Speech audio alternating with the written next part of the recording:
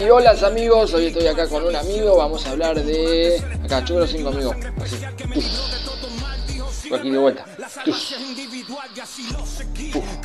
Hoy vamos a hablar de un rapero que ya sabés de quién es.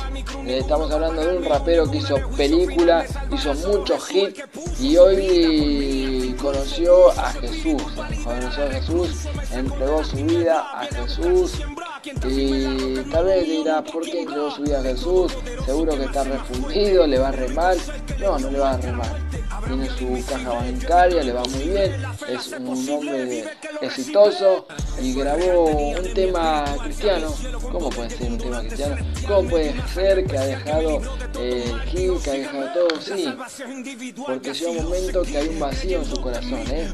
Hay un momento que hay un vacío en su corazón, una tristeza, una depresión, aunque uno puede estar allá arriba en el top 5, pero llega un momento que uno le pega la soledad, la tristeza, el decaimiento y muchas cosas que solo Dios puede llenar el, vacío, el corazón de cada persona.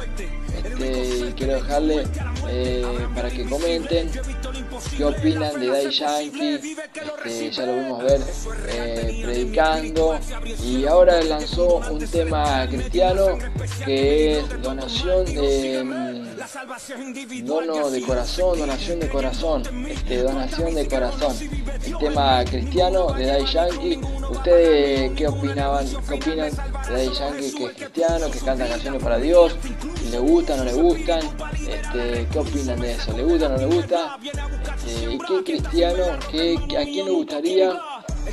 Coméntenme ahí, ¿a quién le gustaría que, que se entregue su vida a Dios? Este, dígame, me gustaría que este, este entendiera la música cristiana que se convierta a Dios. Sería muy bueno. ¿A quién? Díganme.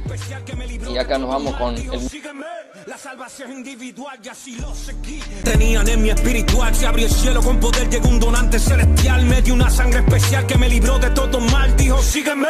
La salvación individual y así lo seguí, creyendo en mí. Porta mí si crees o no, si vive Dios en mí. Ninguno va a llevar mi cruz, ninguno va a pagar mi luz, ninguno en el juicio final me salvará. Solo Jesús el que puso su vida por mí, hasta incluso uso su espíritu para liberar a recluso. Me sacó de las tinieblas, viene a buscar su siembra. Quien está firme en la roca, hermano mío, nunca tiembla.